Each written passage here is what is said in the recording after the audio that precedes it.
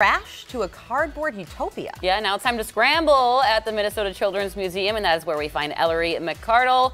Where is she? She climbing? know. Ellery, what you doing? Oh, here I am. Oh, she's hiding. Yeah, scramble right now. This is a uh, four-story kind of climbing apparatus here at the Children's Museum.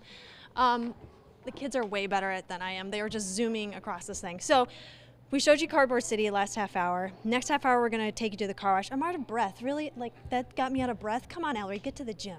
Um, so, uh, and they've got extended hours here at the Children's Museum. Today they're open until six. So just for MEA weekend because they know, hey, parents, the kids are antsy. They want to get out of the house, and there's some great things here for them to do to get their minds going, get active, break out in a little bit of a sweat. Hey, we got some kids going down the slide too. So hey, that's what I am going to do because you cannot come here and not go down this awesome slide. So, gentlemen, am I free to go?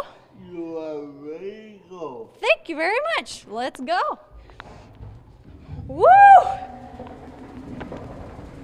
Where'd she go? Is she okay? And I did not fall Whoa, this time. Last Oh. time I fell on my butt. That looks All like right. so much fun. Glad you practiced live. And Ellery, do not feel bad about is. being out of breath. I have been in those like jungle gyms and you're like wiggling through. It's hard. I love how